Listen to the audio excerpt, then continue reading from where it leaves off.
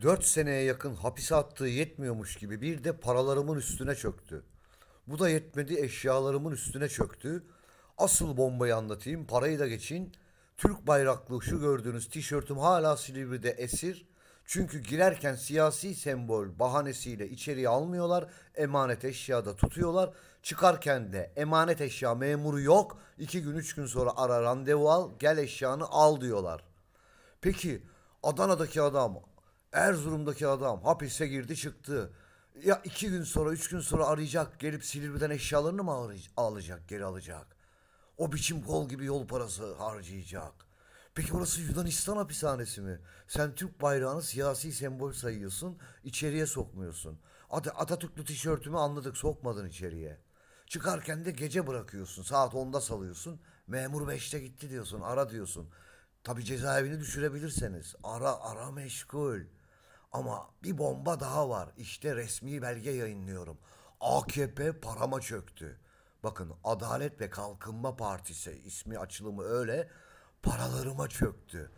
10 ay önce savcılığa şikayet ettim Kasım ayında. 2022 Kasım ayında savcılığa şikayet ettim. İşte yetkisizlik verdi. Şu an Ağustos ayı değil mi? Üçündeyiz. 10 ay geçmiş benim şikayetimden ve e, hiçbir sonuç alamadım. Şimdi cezaevine attı beni ikinci kez attı 10 ay. Ya bakıyorum para gelmiyor hiç. Ya diyorum ki mümkün değil ya bizim arkadaş bana para yollar. Meğerse yollamış ben hapisten çıktıktan sonra öğreniyorum. Ya Cem diyor biz sana bu kadar para yolladık. E bana niye vermediler cezaevinde? Tabii amaç hem benim parama çökmek hem de beni orada perişan etmek. Temel ihtiyaçlarımı alamayayım diye. Bak görüyor musunuz AKP'nin adaleti bu işte. Ya AK Parti dedikleri adalet bu. İşte resmi belge. Ben belgesiz video yapmıyorum. Yani diyelim ki ben suç işledim. Suç işleme özgürlüğüm var. Girdim aslanlar gibi yattım çıktım. Diyelim ki öyle bir şey de yok. 61. beraatimi aldım. 61. Dünyada böyle bir beraat sayısı yok.